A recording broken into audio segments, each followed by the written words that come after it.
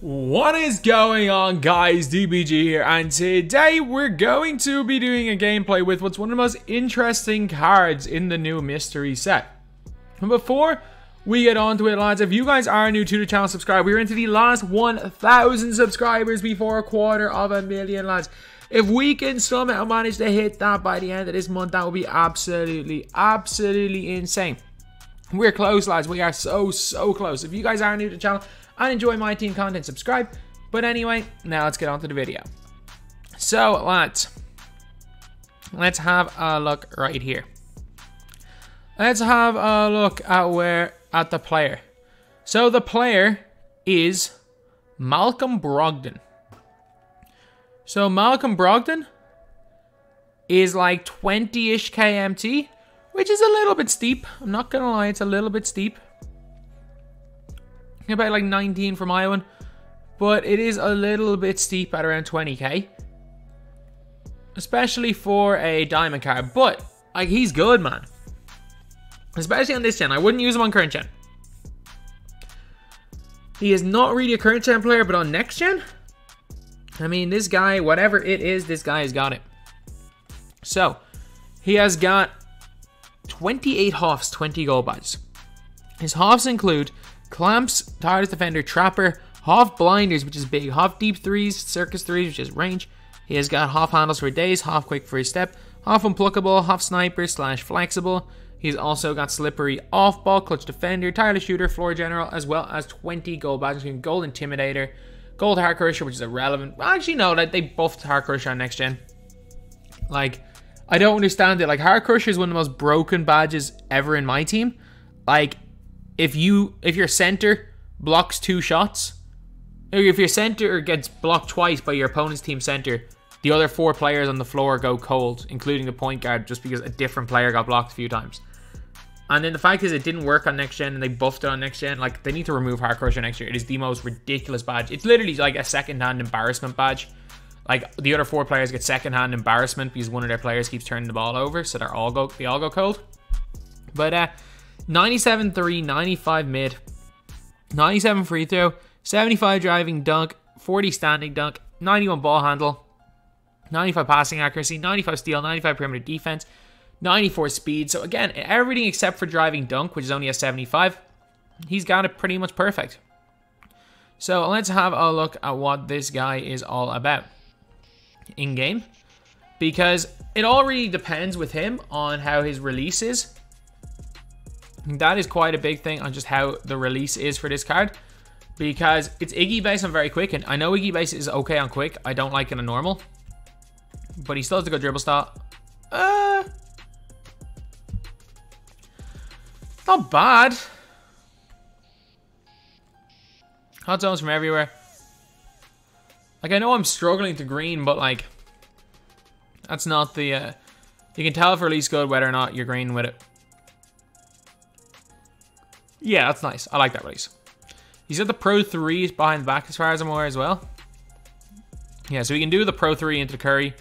Oh my god, did I just miss it? The like the DBG signature move. You're going down the left-hand side of floor. Pro 3 into it. Oh my god, I can't even do I can't even do the DBG signature anymore. Can't even do DBG signature. Can you just do it behind the back, please? I used to be better at this. Why? I'm pressing buttons. Is my controller broken or something? He didn't do anything that time. There we go. That's the move. That's the DBG special. But, um, Bol Bol, that's literally you're open every time of that. I like the release. Let's just check out his dunk animations still. I mean, they're basic ones. I mean, if he doesn't get blocked even with a 75 dunk, that's fine. Like, he can still go by people, and he doesn't necessarily need contacts. But he can go and dunk. 75 is kind of a little bit low for getting contacts, but still. If you can start hitting shots with this release, it's weird. It looks like he's like spazzing in, like he's kind of moving left to right. It's a really weird like looking of his shot. Like his body is just shaking, which is the weirdest thing ever. Like let's have a look at the replays and see it in slow motion. Like, am I just looking at something weird? Like there's just a load of weird move, extra movements in the shot. Like, look, his body's like, it moves. It's going up and then it goes down and then up again. It's just, in slow motion doesn't look as bad, but it just looks really awkward in full motion. I don't know, it's just a really awkward animation in game that like isn't humanly possible. Uh, that a player would shoot like that in real life, but it's still not a bad release by any means. He's still going to be a little bit, he's still not going to be a great dunker, but I like his behind the back. I still think he has the potential to be a really good card. Let's see. Does he get much space out this? A little bit. Still though, he should be should be a pretty great point guard with that half blind as bad anyway. So now let's green one three. And now let's get on to the game. Fingers crossed he's alright. I don't see him. I do not see him replacing Deron Williams in the squad. That's the thing. I think if you had an 80 dunk, maybe. But man, Deron Williams is chicken. Deron Williams is absolutely chicken. So I don't think he's gonna be replacing Deron Williams. We've got we got our Bobby Jones in. Basically, we had been using the the pink diamond Bobby Jones as like our defensive specialist to play around um, the guy running the gameplay. However, um, obviously, we just got the other Bobby Jones because we had the MT. So, see who we're playing against here. Caruso, Eddy Curry, and oh yeah, oh yeah, green that. That's a shot and a half. I just mistimed it. Oh, we got him crabbed. Blinders. That's Hall of Fame blinders for you. That is Hall of Fame blinders. He's there literally making contact with the left side of his body and it's green. That is what you call blinders. Run him off. Dive. I don't care what he does. He's passing. Oh, it's good defense. Dive at that. Great defense, Eddy Curry. That's a late contest. Man, that's actually front. That's front. Front contest. Bobby Jones be better. Come on, Ty said you're the 10th best player in the game. You gotta be better than that.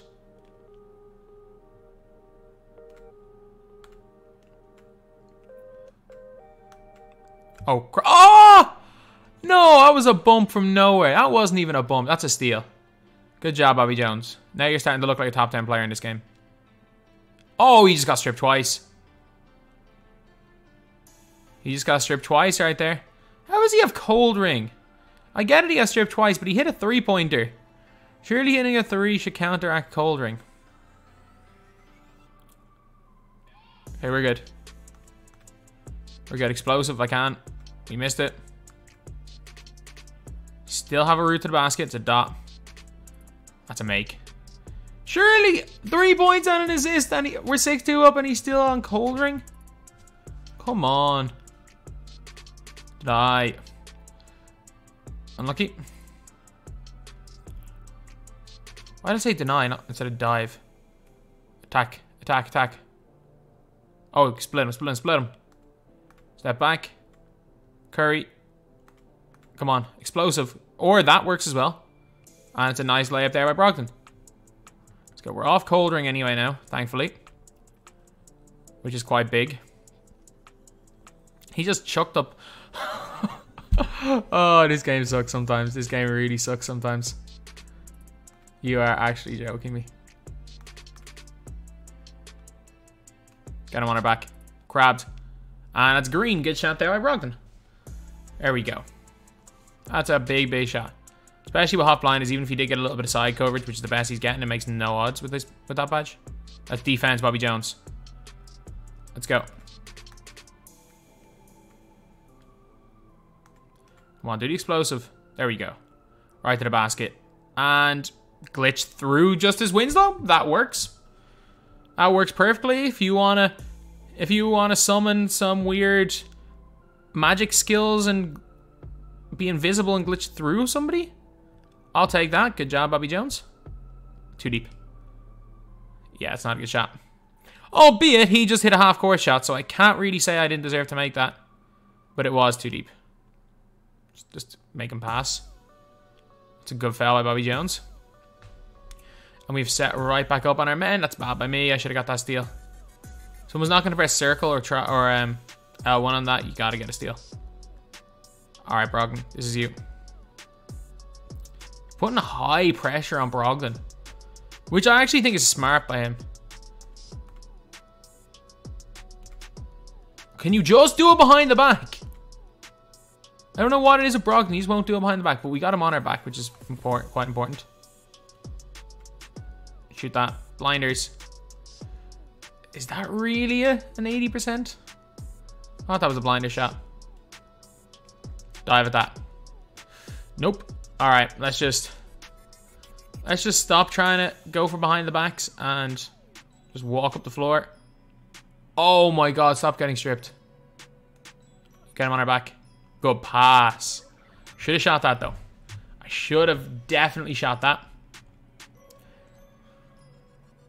Alright, he's not getting take. Dive. That's two of us. That's defense. Oh my god, this guy's defense. He's that's only his second foul, and his defense consists of spamming square. On our back. That's on our side. That's green. Come on. That's not a contest. That's a blinder shot. Like he is show this video is where Malcolm Brogdon shows the power of the blinders badge. The amount of ridiculous shots I've taken that he screened with barely any contest purely because of blinders. That's green. Oh yeah. Chicken man, let's go. We got used to that release and he greened. Did he green every open shot in that? he may have greened every open. Couple of bad turnovers, but not bad performance by him. Not a bad performance at all. Malcolm Brogdon appears to be a really decent card. The only problem is, like, is he better than Deron Williams on this gen? I wouldn't use him on current gen. Like, I wouldn't use a lot. There are a lot of cards I wouldn't use on current gen because again, I would rather not use a steady player than use a steady player. But that's this is coming from somebody who can't green to save his life on current gen. So, like having steady is a big, big negative for me because again, I can't green, so it's it's a huge, huge detriment to me having a badge that nerfs your, your white percentage. So, I do think that blind is such a positive on next gen, but it's also a negative on current gen. I'm like, I will not suggest for anyone to use him on current gen. I could, if you want to use a player like him on current gen, use Cuttino Mobley. But if you're on next gen, I mean, he's cheaper than Deron Williams. He is cheaper than Williams, which is something. It's like, is he that much better than Dinwiddie? I like Dinwiddie a lot more than most people like Dinwiddie. Like, I'm putting him up anyway, just in case he goes up in price after this. But he's good. I think his price right now is too high. I think his price right now of like 20, 19k, that is too high for the guy. But I don't think he's a bad card at all. I think a lot of people are going to have a lot of success with him. I think he's easily one of the top 15 point guards on next gen. But I mean, is he much better than Dinwiddie? I really don't know. I really don't know. Is he that much better than Dinwiddie, who's got like HOF blinders as well, HOF clamps? HOF quick first step. Is an inch taller. Yes, he doesn't have as good a release, but he has an 85 driving dunk. And Dinwiddie's like 5 KMT. He's like 5, 6 KMT. So, like, I don't know if I can recommend Brogdon over a Dinwiddie, honestly. He's fine, though. Like, again, he's good enough that if you're a Pacers fan and you want to use a diamond point guard, he's probably the best in the game. Like, on next gen, he's maybe the best diamond point guard in the game, him or Justice Winslow. He's one of the best diamond cards in the game, period. He's a really good player. So again, if you're a big Brogdon fan, if you're a Pacers fan, and you want to build like a Pacers team, you actually have a pretty nice team if you got Myles Turner because bonus is good, Brogdon's good. There's a lot. He's got a lot of positives. The problem is that like 20k MT, like that's more expensive than what you're paying for like Korver. That's more expensive than what you're paying for Korver. And he's not as good as Korver. I, will tell you, I'll tell you right now, on next gen, he's better than Caruso. He's better than Caruso on next gen, but he's also more expensive.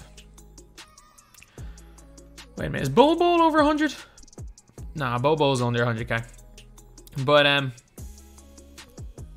yeah, he's fantastic. Absolutely fantastic, but I think 20k is a little bit too expensive. So anyway, that's the video. Thank you guys for watching. Please like, comment, and subscribe.